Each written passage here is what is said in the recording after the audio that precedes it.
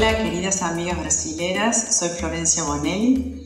Qué feliz estoy de que por fin uno de mis libros se haya publicado en su país y que haya llegado de la mano de una prestigiosa editorial como Planeta.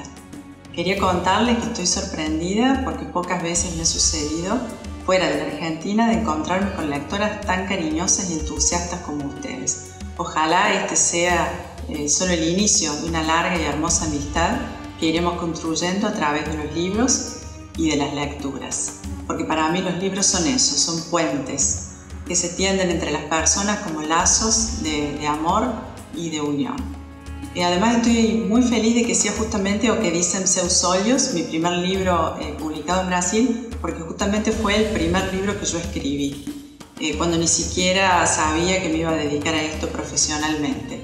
Y lo escribí porque eh, me desbordaban las escenas, los diálogos, los personajes y necesitaba transmitirlos en palabras. Y todo eso nació después de la lectura de un libro que me cambió la vida. Este libro es El árabe, de la escritora inglesa Edith Hull. Ese libro me apasionó de tal manera que me, que me nació en mí la necesidad de escribir historias que apasionaran a su vez a la gente del mismo modo que ésta lo había hecho conmigo.